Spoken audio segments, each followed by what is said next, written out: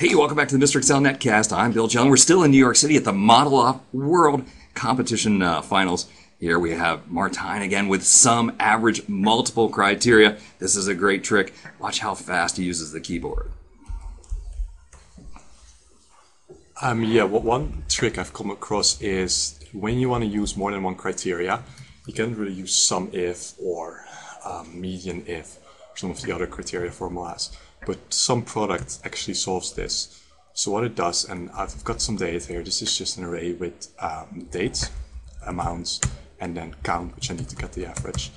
So what SUMPRODUCT does is, if you put in a criteria, it looks at it as a vector and returns either a 1 or a 0. So the, the syntax here is quite important.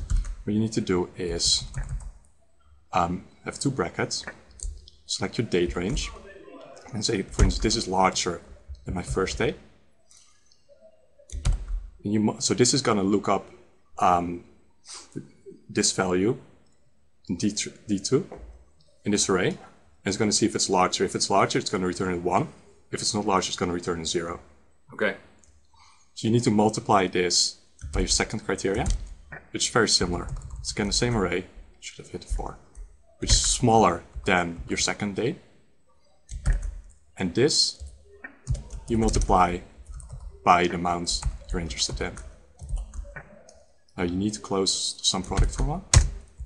This gives you sum 522. Let me fix this. Should have done it initially.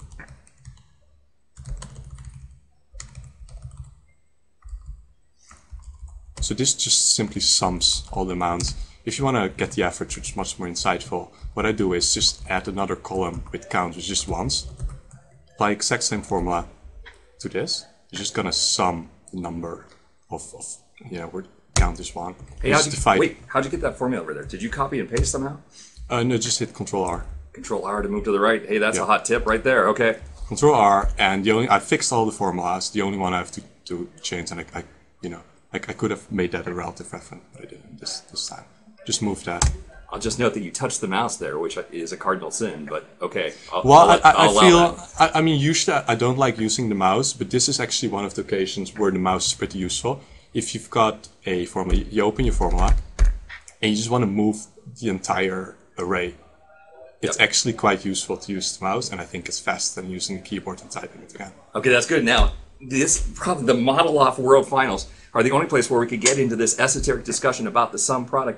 The help file for some products says that you have to separate each of those by a comma, but you're using a multiplication sign, and I understand why you're doing it. That's the right way to do it, at least in my book. There's a lot of people, though, who put commas and then put minus, minus between each one. Um, but I think the multiplication is the hot way to go. The multiplication actually I switches those over to zeros. Yeah, I mean, it does something else, right? If you use the multiplication, it looks at at um, the criteria as a vector, which is what you need. Right. it changes it to binary. It changes it from true, false to actual zeros and ones. Yeah. So using the multiplication is the way that I like to go. So uh, I'm going to give you a point for that because that was the, uh, the hot, hot tip. All right. Yeah. So hey, uh, check out the uh, ModelOff World Finals. Uh, it, you can enter next year for 2013. Uh, first two rounds are at your desk, and then it, if you do well, you'll win a trip to New York City. It's an amazing amazing competition. All right. See you next time for another netcast from Mr. Excel.